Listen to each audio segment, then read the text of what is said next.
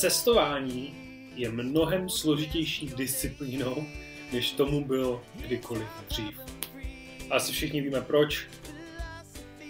Asi všichni víme proč. V tomhle dnešním videu si povíme o tom, jak se dá cestovat v roce 2022. Protože byste ani nečekali, kolik mi chodí denně zpráv o tom, jak to, že někam cestuješ, vždyť je pandemie, jak se dá cestovat, já chci taky cestovat, nikam se nesmí a tak dále a tak dále. Takže dneska si to zkusíme jednoduše a stručně vysvětlit. Ano, samozřejmě je to mnohem složitější, než to bylo třeba 4-5 let zpátky, kdy prostě vůbec si myslím před pandemí, já už se ztrácím v tom, jak dlouho už tady s náma je, protože už mi přijde, že to je součástí našich životů, jak kdyby odek živa. Ale dřív to prostě bylo jednoduché, dřív jste řešili jenom to koupit letenku a odletět. Nic jiného prostě eh, se nemuselo řešit, občas do nějakých vzdálenějších zemí se řešili víza. Teď je to složitější. Teďka člověk musí řešit to, jaký má daná země podmínky pro vstup.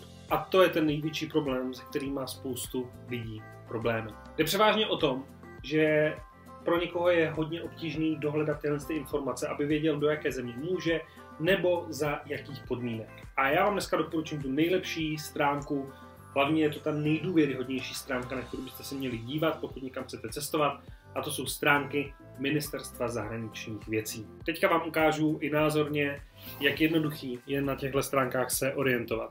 Takže jo, stránky mzv.cz. Když si tohle zadáte, vyjede na vás přímo takhle eh, stránka Ministerstva zahraničních věcí České republiky, kde hnedka nahoře máte mapu cestovatele. Takhle jednoduchý nám to udělali, hned nahoře je mapa cestovatele, kterou když si rozkliknete, tak vám takhle ukáže nejen mapu, takže podle mapy si můžete najít to, kam zrovna byste chtěli jet, ale tady máte i přímo daný seznam všech zemí a máte je rozdělený podle toho semaforu, podle kterého se většinou uh, po světě teďka řídí v době pandemie.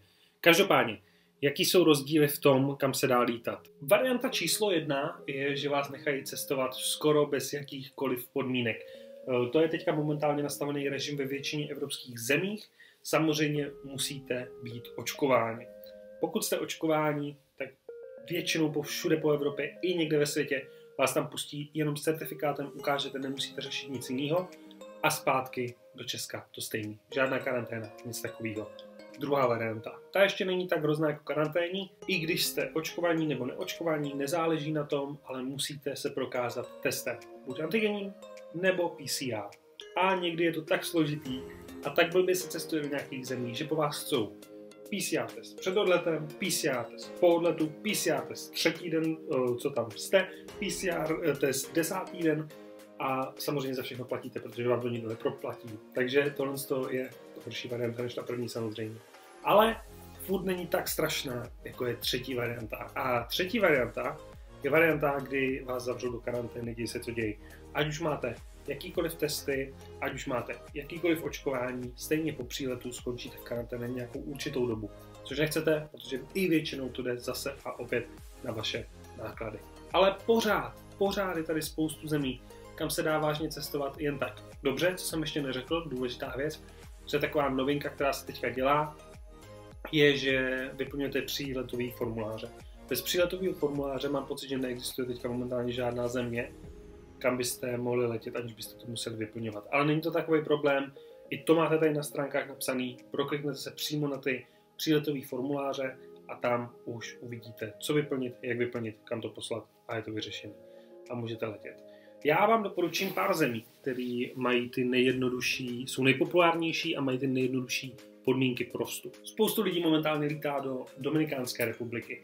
Hodně lidí jsem viděl, že lítá do Mexika, hodně lidí taky navštěvuje Ameriku, která je teďka nově už otevřená, takže celé Spojené státy, vlastně celý ten kontinent Ameriky je momentálně hodně dostupný, ať už je to Karibik, nebo právě USA, nebo Jižní Amerika.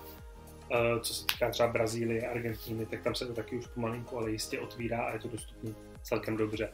Z těch afrických zemí, velice populární destinace, od začátku pandemie, já jsem pandemii navštívil tuhle zemi, je Zanzibar, kde taky neřeší žádné podmínky, žádné očkování, žádné testy, automaticky jste puštění, nikoho nic nezajímá. Co se pak týče Evropy, to už jsme si řekli, na to jsme si odpověděli, Evropa je celkem uh, v pohodě pro očkovaný cestující. Pro ty neočkovaný stačí do většiny zemí antigen nebo PCR test. Samozřejmě negativní. S pozitivním testem vás pravděpodobně nikam nepustí. A to doufám, že nikoho nenapadlo. A potom, nás už poslední, to je Ázie, oceány. Tam je to složitější. Tam těch zemí tolik není. Momentálně máme otevřený Tajsko, kam se dá celkem dobře cestovat. Taky bez uh, jakýchkoliv extrémně náročných podmínek. Sri Lanka je taky otevřená. Ale právě na téhle straně světa, na tom východu od nás, je hodně zemí zavřených. Což je další kategorie, o kterých jsme se tady neřekli. A ano, i máme prostě do nějakých velice populárních zemí prostě smůlu. Ať jste jakkoliv na očkování a kdybyste v sobě měli napíchaných záčes tisíc protilátek, tak vás stejně nepustí do nějakých zemí. Například, který mě mrzí, protože jsem se tam chtěl podívat, Indonésie, Filipíny, Nový Zéland, Austrálie, Japonsko, všechny tyhle ty země, tak tam vás nikdo momentálně nepustí. Když to stvrkneme dohromady všechny ty informace, já upřímně budu cestovat. A doporučoval bych vám cestovat. Eh, všechny tyhle ty věci a opatření jsou podle mě jenom jedna velká výmluva pro lidi, se prostě nechce. Takže pokud máte tu touhu a chcete cestovat, nenechte se zastrašit všema těma podmínkama, najděte si tu destinaci, která vám vyhovuje a cestujte. Pro mě třeba letošní rok 2022 bude určitě jeden z těch nejvíc procestovaných roků v mém životě. A to i přes všechny ty podmínky. Samozřejmě dám velký upozornění na to, všechno se může pořád měnit. Víte to sami, žijeme v té době, jaké žijeme, v pandemii, kde se všechno mění ze dne na den, z týden na týden, z minuty na minutu, nikdy nevíte. A i proto je hrozně důležité, když si budete kupovat nějaké letenky, počítejte s tím, že se něco může změnit, že vás té země třeba nepustí, nebo že se zavře Česká republika a proto je aspoň výhodný mít nějaký storno úplně ideálně, aby nebyl žádný storno poplatek na letenky, ale to málo kdy se ženete. Ale ideální aspoň zdarma změna letu. To znamená, koupíte si letenky do Anglie, najednou Anglie se uzavře, nikdo vás tam nepustí, šup, napíšete Raineru třeba a oni vás zadarmo nechají si to změnit třeba na příští rok. A takhle to třeba můžete měnit do Aleluja, než vás tam konečně pustí. Teď ale tohle to bylo všechno o tom, jak a proč si myslím, že se dá cestovat v roce 2022 a posuneme se k další části tohoto videa a to je další díl, jak z jedné koruny vyděláme milion. V tomhle díle si ukážeme, na čem se dá ještě výborně vydělat a to je na lidské lenosti, protože lidi jsou velice líné stvoření jako můj kameraman. Je to tak? Ano, velice líný tvor. My jsme dostali chuť na párek v rohlíku, který se prodává tady na české úžasný párek zde posvátný párek za 20 korun, na který má každý chuť. Kameraman by si taky dal párek za 20 korun, je to tak? Ale bohužel je zavřeno, takže si párek, co? Nedá. Když ti ale ten párek seženu za 20 korun, zaplatíš mi za to 20 korun. Protože člověk je línej si ten párek v rohlíku udělat sám. Takže já teďka půjdu nakoupit párek a rohlík, dám to do sebe a prodám to za 20 korun a díky tomu uděláme dneska z 8 16. Takže vlastně nebude stát 20, ale 16. To je ještě lepší, že tak? Je to tak. Takže jdeme koupit párek a rolí.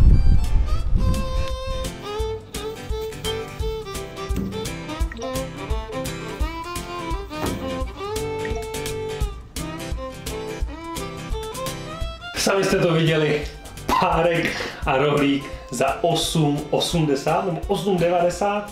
Je to sice o ten o tu skoro jednu korunu dražší, než jsme chtěli, než je těch 8, což byl ten budget, ale minulé nám vajíčko TikToker vydělalo o trošku víc, takže to můžeme použít a dělám, že to je těch 8 korun.